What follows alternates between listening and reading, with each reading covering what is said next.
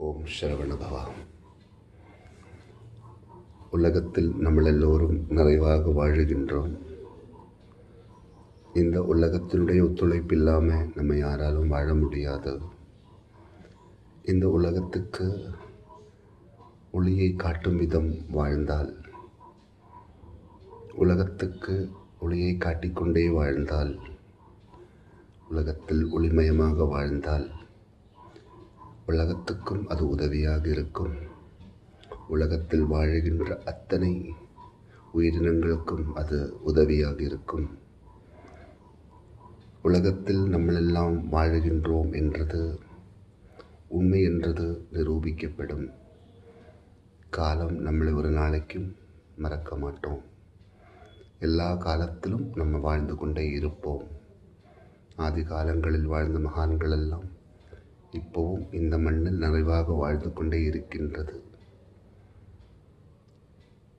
அதன் போலவே நம்மளும் உலகத்தில் வாழும் காலமெல்லாம் ஒளிமயமாக வாழ்ந்து நன்மையை நினைத்து கொண்டு நன்மைக்கெல்லாம் காரணமாய் நல் நன்மைகளை நிலைநாட்டுவதே நம்மளுடைய மிக மிகப்பெரிய கடமை என்றது உணர்ந்து எங்கேயெல்லாம் நன்மைகள் நிறைவாக இருக்கின்றதோ அங்கெல்லாம் இருந்து நன்மைகளுக்கு மட்டுமே காரணமாக வாழ்ந்து நன்மைகளெல்லாம் பரவிக்கொண்டு உலகத்தில் உயர்ந்த நிலைமையில் வாழுவது விசேஷம்.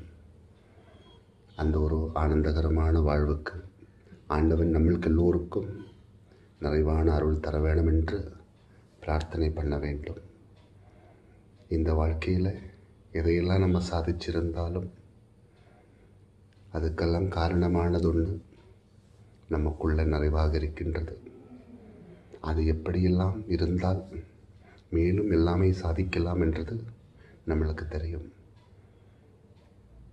அது ஸ்மரணத்தோடு இருக்க வேணும். அது பகவத் நாமத்தோடு இருக்க வேணும். அது பகவத் சேவையோடு இருக்க வேணும்.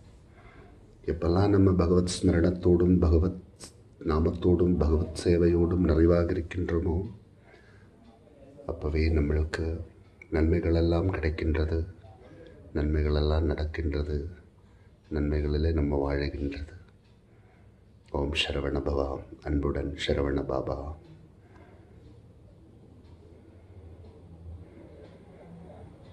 गुरुर्ब्रह्मा गुरुर्विष्णु गुरुर्देवो महेश्वरः गुरुः साक्षात् परब्रह्मं तस्मै श्रीगुरवे नमः